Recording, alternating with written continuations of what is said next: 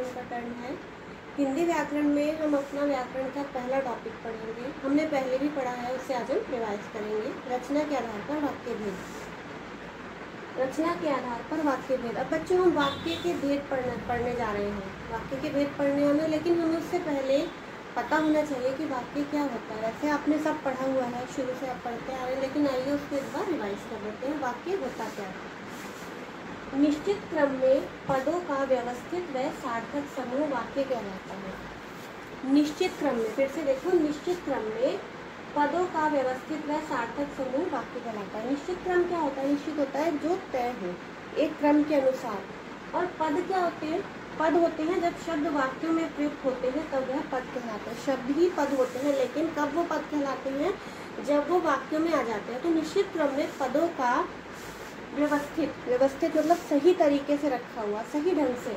वह सार्थक समूह। सार्थक का अर्थ होता है अर्थ। सार्थक का मीनिंग है अर्थ, जिसका सही अर्थ निकलता है। सार्थक मतलब सही अर्थ निकलना, निरर्थक होता है, गलत अर्थ ना जिसका अर्थ ना हो।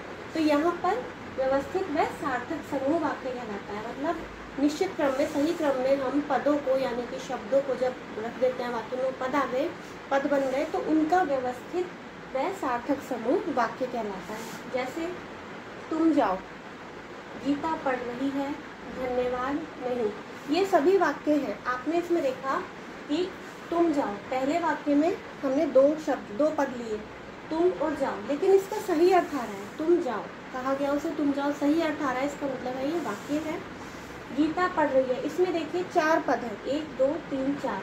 चार पदों का वाक्य है, तुम जाओ। दो पदों का वाक्य है, धन्यवाद। एक पद का वाक्य है, नहीं, एक पद का वाक्य तो बच्चों, वाक्य एक पद से, दो पद से, तीन पद से, चार पद से कितने भी पदों से वाक्य बन सकते हैं, एक पद का भी वाक्य होता है, जैसे कि मैंने ये लिखा है। तो ये है बच्चों वाक्य। क्या हो गया वाक्य? निश्चित क्रम में पदों के व्यवस्थित व सार्थक समूह को वाक्य कहते हैं। अब हमने वाक्य पढ़ लिए, इसके बाद हम वाक्य के गुण पढ़ेंगे, वाक्य के अंग पढ़ेंगे, फिर हम वाक्य भेद की तरफ़ चलेंगे। तो अभी हमने बच्चों पढ़ा कि वाक्य क्या होते हैं, अब हम पढ़ते हैं कि वाक्य के गुण क्या क्या हैं। वाक्य में कौन से गुण होने चाहिए? सबसे पहला होता है अर्थवान। वाक्य का पहला गुण है अर्थवान, कि वाक्य अर्थवान होना चाहिए। इसका मतलब है बच्चों कि वाक्य में जो अर्थ उसका निकलना चाहिए। जब हम वाक्य को पढ़ रहे हैं या सुन रहे हैं तो वह उसका अर्थ हमें स्पष्ट होना चाहिए। पढ़ने और सुनने में वो अर्थवान लगना चाहिए। कि हाँ इस वाक्य को जब हमने पढ़ा, सुना तो जो इसमें अर्थ है वो सामने आए, बिल्कुल सार्थक हो। दूसरा है नियम अनुसार वाक्य व्याकरण के नियमों से बद होना चाहिए। जैसे व्याकरण के नियम क्या होते हैं? लिंग, वचन वगैरह सब उसमें सही तरीके से प्रयोग होने चाहिए। जैसे इसका एक वाक्य देखिए आप एग्ज़ाम्पल राम फल खाता है। मैंने यहाँ पे एक वाक्य लिखा, राम फल खाता है, ठीक है? तो आपने ये वाक्य पढ़ा, आपको अच्छा लगा, समझ आया, ठीक है? अगर मैं बोलती हूँ राम फल खाती है राम फल खाती है तो मैंने राम के साथ खाती का प्रयोग किया। राम जबकि पुलिंग है, मैंने यहाँ पे प्रयोग किया, खाती है। तो ये वाक्य यहाँ पे व्याकरण के नियमों के अनुसार गलत है और ये वाक्य सही है। तो दूसरा गुण इसका हो गया कि वाक्य जो है व्याकरण के नियमों के अनुसार होना चाहिए और तीसरा गुण है पूर्णता। वाक्य में पूर्णता होनी चाहिए अर्थात को स्पष्ट होना चाहिए। चौथा है भावाभिव्यक्ति में भावा अभिव्यक्ति में सक्षम। जो वाक्य में, वाक्य का जो उद्देश्य है, जो उसमें भाव दर्शाए जा रहे हैं, वो उस वाक्य से स्पष्ट होने चाहिए। तब जाके ये वाक्य के गुण है, तब जाके वो वाक्य सही होता है। ये वाक्य के गुण है। अब हम वाक्य के अंगों के विषय में पढ़ेंगे। अब हम पढ़ेंगे बच्चों वाक्य के अंग। अभी तक हमने वाक्य के विषय में पढ़ा, वाक्य के गुण पढ़े, अब हम पढ़ेंगे वाक्य के अंग। तो बच्चों, वाक्य के दो अंग होते हैं, उद्देश्य और विधेय। उद्देश्य और विधेय ये सब आपने पहले पढ़ा है आज रिवाइज करते हैं इसे। उद्देश्य क्या होता है? वाक्य में जिसके विषय में कहा जाता है, वो उद्देश्य होता है। वाक्य में जिसके विषय में कहा जाता है, वो उद्देश्य होता है। और उद्देश्य के विषय में जो कुछ कहा जाता है, वो विधेय होता है। उद्देश्य जिसके विषय में कहा जाए, वाक्य में जिसके विषय में कहा जाए, वो उद्देश्य विधेय उद्देश्य के विषय में जो कुछ कहा जाए, वो विधेय होता है। फिर से सुने वाक्य में जिसके विषय में कुछ कहा जाए वो उद्देश्य और उद्देश्य के विषय में जो कुछ कहा जाए वो विधेय होता है। जैसे इसे एक उदाहरण से समझेंगे, कुछ बच्चे पार्क में खेल रहे हैं। एक वाक्य है, कुछ बच्चे पार्क में खेल रहे हैं। तो इसमें किसके विषय में कहा गया? कुछ बच्चे। बच्चों के विषय में कहा गया। तो कुछ बच्चे क्या हुए इसमें? उद्देश्य। पार्क में खेल रहे हैं विधेय ठीक है? बच्चे क्या कर रहे हैं? बच्चों के विषय में क्या कहा गया कि वो पार्क में खेल रहे हैं। तो उद्देश्य के विषय में जो कुछ कहा जाता है वो विधेय होता है। से हमारा उदाहरण क्लियर होता है। जैसे मैंने अभी एक आपको कहा था कि राम फल खाता है। तो इसमें राम क्या हुआ? उद्देश्य हो गया। और वो क्या कहा कहा जा रहा है उसके विषय में कि वो फल खाता है। तो फल खाता है यहाँ पे विधेय हो गया। शेष जो वाक्य हो गया वो विधेय में हो। गया तो ये होते हैं वाक्य के अंग। अब हमने वाक्य पढ़ लिए, वाक्य के गुण पढ़ लिए, वाक्य के अंग पढ़ लिए। अब हम आते हैं रचना के आधार पर वाक्यों के भेद पर। बच्चों, आपने नाइन्थ क्लास में अर्थ की दृष्टि से वाक्य के भेद पढ़े थे जो कि आठ थे, और अब आप पढ़ेंगे टेंथ क्लास में रचना के आधार पर वाक्य भेद, जो कि तीन होते हैं। सरल वाक्य, संयुक्त वाक्य और मिश्रित वाक्य। तो आइए हम सबसे पहले शुरू करते हैं सरल तो आइए बच्चों, अब हम शुरू करते हैं वाक्य भेद रचना के आधार पर। पहला है सरल वाक्य। सरल वाक्य क्या होते हैं? जिन वाक्यों में एक ही क्रिया होती है, उन्हें सरल वाक्य कहते हैं। जिन वाक्यों में एक ही क्रिया होती है, इसमें क्रिया एक ही होगी। इसमें एक विधेय और एक ही क्रिया होती है, किंतु उद्देश्य एक से अधिक हो सकते हैं। आपने सुना, फिर से बताती हूँ कि इनमें एक उद्देश्य है, उद्देश्य एक से अधिक हो सकते हैं, लेकिन विधेय और क्रिया हमेशा एक ही होती है। जैसे आपको मैं समझाऊँ, अभी हमने उद्देश्य और विधेय समझ लिया कि वाक्य में जिसके विषय में कहा गया, उद्देश्य और उद्देश्य के विषय में जो कुछ कहा गया, वो विधेय हो गया। क्रिया आप जानते हैं, जो कुछ भी कार्य होता है, जो भी कार्य हो रहा है, वो क्रिया है।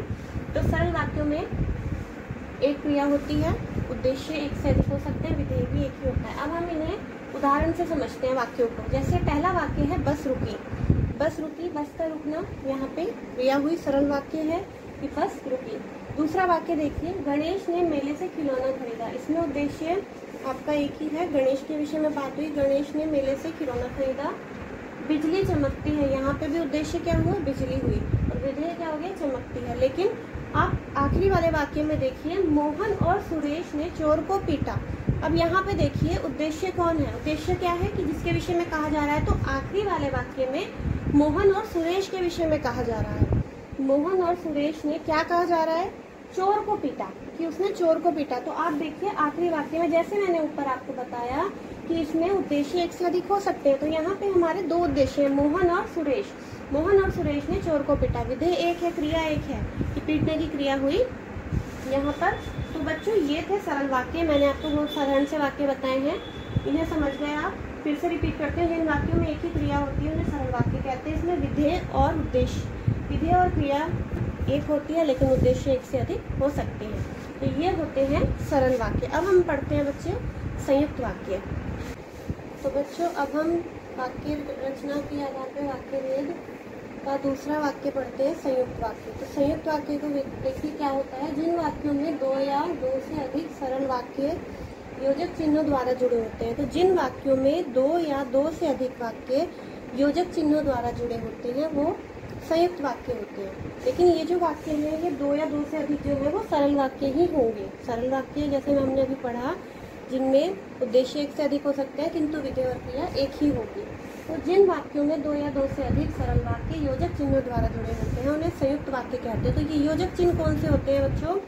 योजक चिन्ह होते हैं, वो तरह के समुचे बोधक जो होते हैं, उन्हें बोलते हैं। एक समानाधिकरण होता है, व्याधिकरण होता है।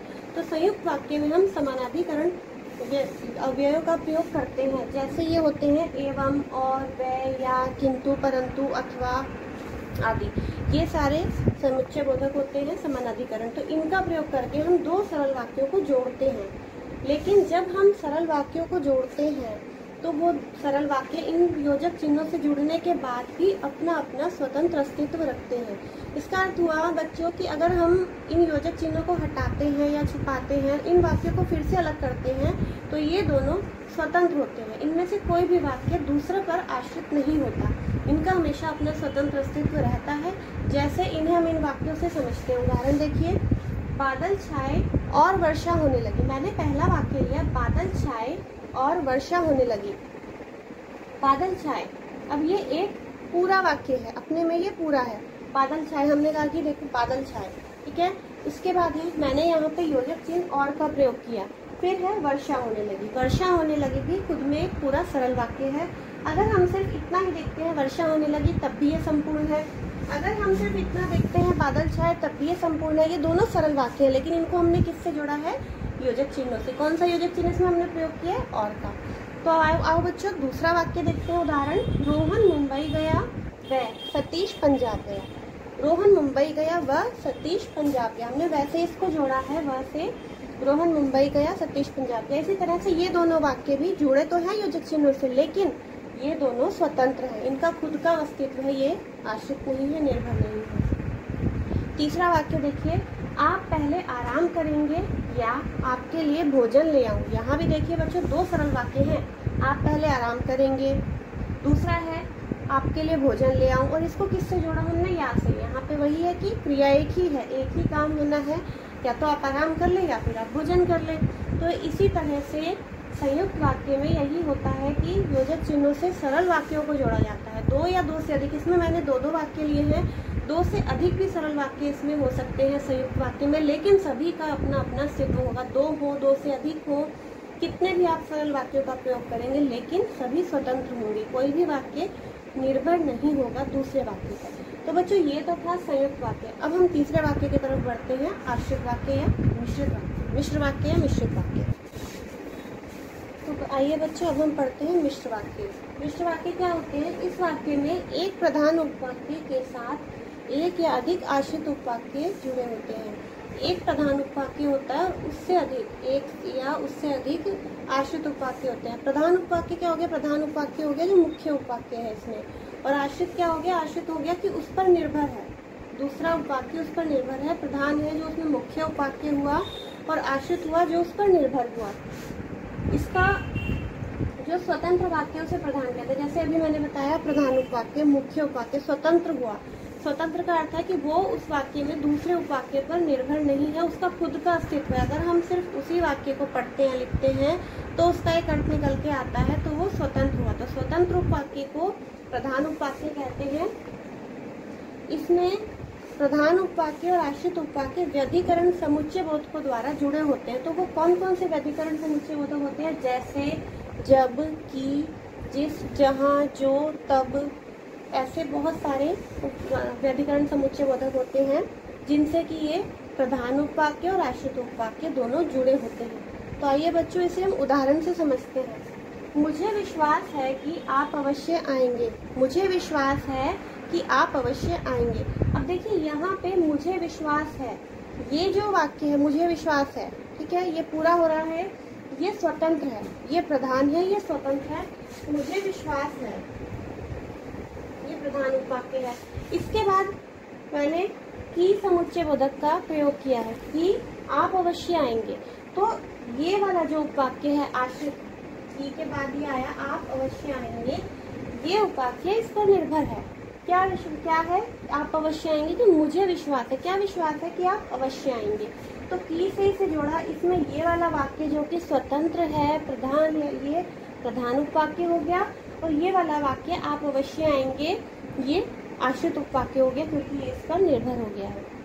दूसरे उपवाक्य में आइए। वह अध्यापक था जो कल यहाँ आया था। अब देखिए, इसमें दो वाक्यों को मैंने जोड़ा। पहला है, वह अध्यापक था जो से इसे जोड़ दिया, जो कल यहाँ आया था।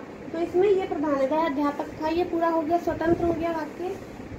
कल यहाँ आया था, किसकी बात हुई? जो कल यहाँ आया था तो ये इस पर निर्भर हो गया। इसमें ये हो गया आपका प्रधान उपाक्य, और ये हो गया आश्रित उपाक्य। ठीक है? आगे देखिए, उस लड़के को बुलाओ जो उधर बैठा है। यहाँ भी देखिए, जो से इसे जुड़ा है, उस लड़के को बुलाओ। मैंने बोला, उस लड़के को बुलाओ, ये प्रधान वाक्य है इसमें, क्योंकि ये स्वतंत्र है, उस लड़के को बुलाओ। तो ये होता है यहाँ पे प्रधान वाक्य, जो उधर बैठा है, ये हो गया इस पर आश्रित। जो तो इसको हमने जोड़ने में यूज़ प्रयोग किया, उधर बैठा है। ये वाक्य जो है, उपवाक्य, इस प्रधान वाक्य पर आश्रित है।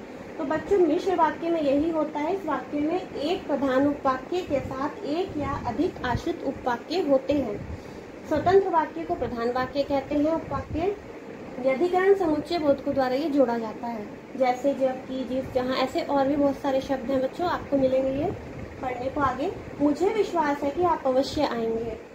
वह अध्यापक था जो कल यहाँ आया था। इसमें मैंने आपको समझा दिया कि प्रधान कौन हुआ और आश्रित कौन हुआ।